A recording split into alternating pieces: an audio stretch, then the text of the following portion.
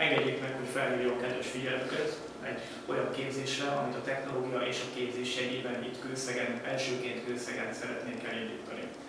Ez a képzés, ez gyakorlatilag a változásokkal kapcsolatosan fogalmaz meg olyan modulokat, olyan, olyan te- technológiákat, témaköröket, amelyeket úgy gondoljuk, hogy mindannyiunknak kezelni kell, meg kell érteni és alkalmazni kell első körben a termelő rendszerek támogatásához.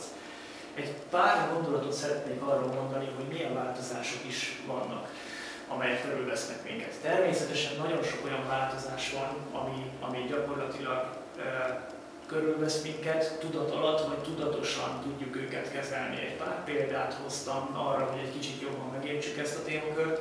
Nyilván az emberi hőészet például egy nagyon jó példája lehet annak, hogy bizonyos keretek között, bizonyos limitek között az ember az önkéntelenül, önkéntelenül, önkéntelenül alkalmazkodni tud a hőmérséklet változásokhoz. Ugyanilyen példa lehet, ha bizonyos sérülések vagy problémák bekövetkeznek az emberi szervezetben, az ember az gyakorlatilag úgymond evolúció vagy mutáció nélkül bizonyos keretek között ezeket ki tudja egyenlíteni, tehát egy természetes addiktivitás az része az emberi szervezeteknek. Természetesen mondok olyan változások, amelyek tudatosságot is igényelnek, tudatos törekvést arra, hogy kezelni, kezeljék ezeket a változásokat. Ilyenek például a környezetünk változásainak kezelése, technológiai változások, üzleti vagy politikai változások.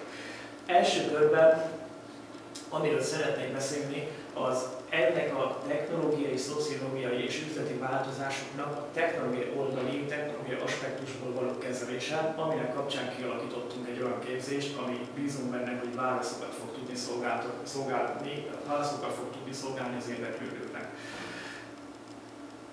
Az első dolog az ipari forradalmak hatásai. Különösképpen a negyedik ipari forradalomról szeretnénk beszélni a képzés során, hiszen az, ami a jelenünket mozgatja, de ahhoz, hogy megértsük, mit okoz a negyedik ipari forradalom, természetesen végig kell vennünk a korábbi ipari forradalmak változásai által okozott hatásokat, azok tapasztalatait és azok kezelését. Fogunk beszélni a képzés során az Internet of Things témakörről, azaz a dolgok internetével kapcsolatosan, hiszen a hálózati eszközök gyakorlatilag exponenciális függvény szerinti emelkedése, növekedése az egyik motorja annak a változásnak, amiről korábban az ipar 4.0 technológiai változás során említést tettünk. De a fő cél az mindenképpen a változás, amit kezelnünk kell. Nagyon sok aspektust kell kezelni, a jéghegy modell az válaszokat fog tudni adni, de természetesen segíteni fogja azt az analízist, amit a kérdés során meg fogunk tenni. A társadalomtudomány, az ipari szektorok szerepe, gyakorlatilag a technológia, innovációk, milyen szinergiákat látunk a különféle területek között, az üzleti, a szociológiai és a technológiai területek, területek, területek között. Az elavultság kérdése és a generációs különbségek az szintén egy olyan témakör, amivel úgy gondolom, hogy foglalkozni kell, hogy a lehető leghatékonyabb irányokat, leghatékonyabb irányokat, metódusokat tudjuk kialakítani a célok elérésének érdekében. Ahhoz, hogy általános igazságként elmondható ahhoz, hogy egy bizonyos célt ki tudjunk tűzni, meg tudjuk tervezni az oda vezető utat, tudnunk kell azt is, hogy hol vagyunk. Ezért a képzés során foglalkozni fogunk azzal, első körben Magyarországi, azon belül talán az ipari és nyugat-magyarországi régiónak a szerepével, amely segít minket pozícionálni ahhoz, hogy meg tudjuk tervezni, meg tudjuk érteni és meg tudjuk tervezni a változással kapcsolatos teendőket.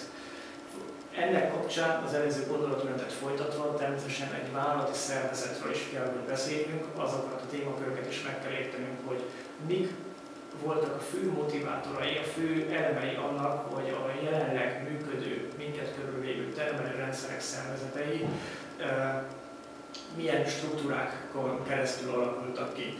Meg kell értenünk ezeket az elemeket, és természetesen ez az alapja annak, hogy meg tudjuk tervezni a jövőbeli struktúrákat, organizációkat, amelynek természetesen az egyén kompetenciája, technológiai támogatása és az organizációs struktúra lesz az alapja.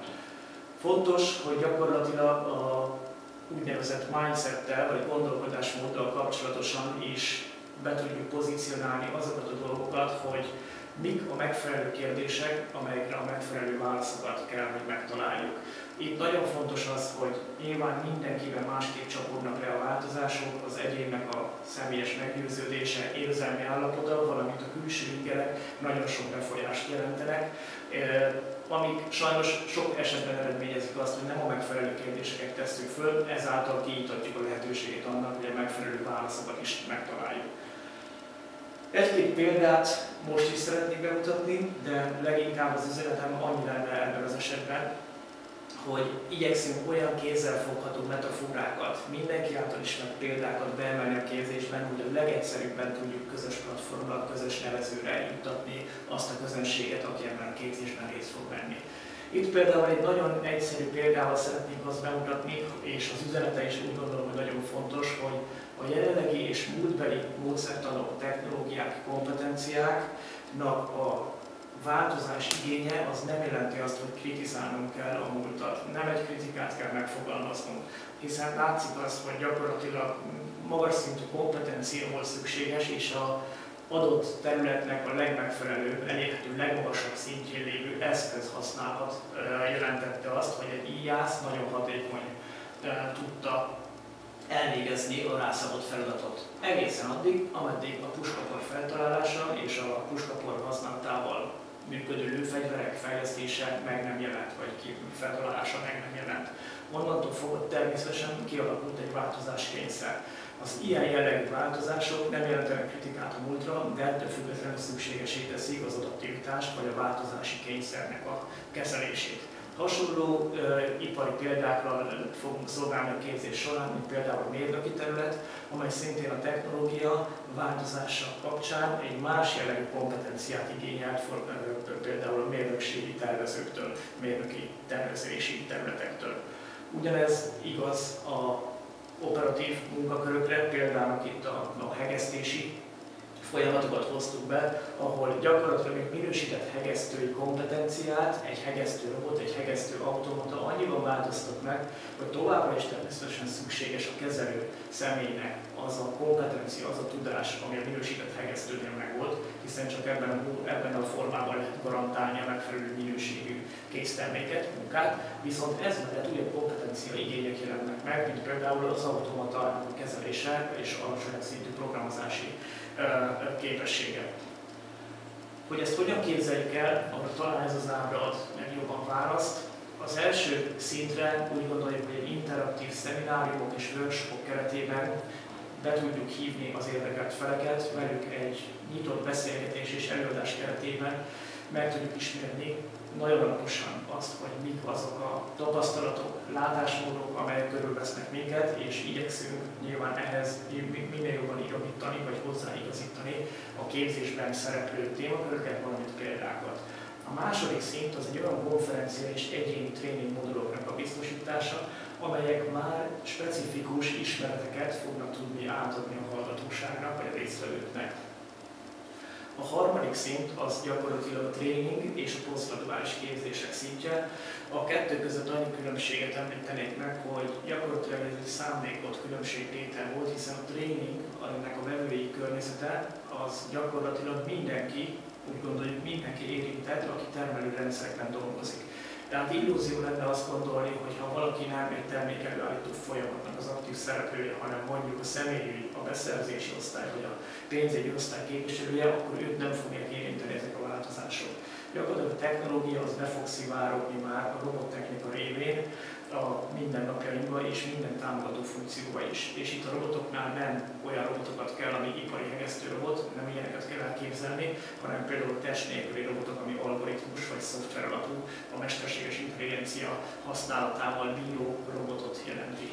A posztgraduális képzés az pedig azoknak a szinteknek, azoknak a kollégáknak eh, készül, akik olyan műszaki háttérrel rendelkeznek, amik már jelenleg is biztos alapot nyújtanak arra, hogy gyakorlatilag ezeket a változásokat tervezni, meg kialakítani és működtetni tudják a termelő rendszerekben.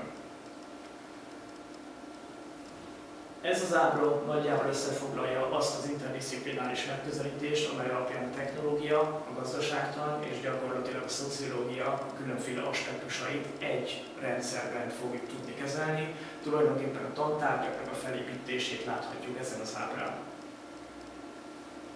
Ezzel a szlájddal búcsúznék, a változás az itt van, és gyakorlatilag szerették mindenkit arra biztatni, hogy ne csak egy elszenvedője, egy passzív követője, hanem része legyen a változásnak. A megjelenített programról, elmondott programról még több részletet az IS honlapján és Facebook oldalán fognak találni az érdeklődők. Köszönöm a figyelmet!